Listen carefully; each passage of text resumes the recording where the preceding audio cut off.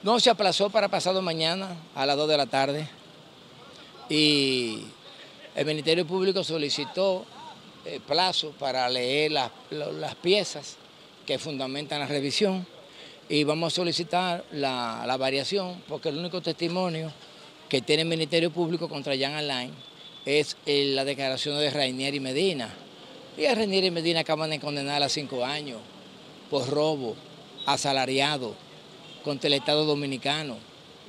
O sea, una, infractora o delincuente redimida, porque ya está en procura de una reinserción, se le suspendió la pena y tenemos ahí la sentencia.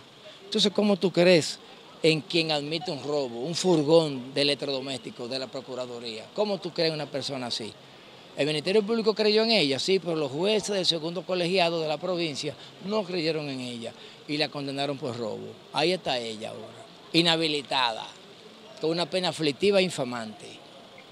¿Para, Ese, cuándo, ¿Para cuándo fue que murieron la...? Pasado mañana. ¿Para pasado mañana? No, no, mañana a las 2 de la tarde.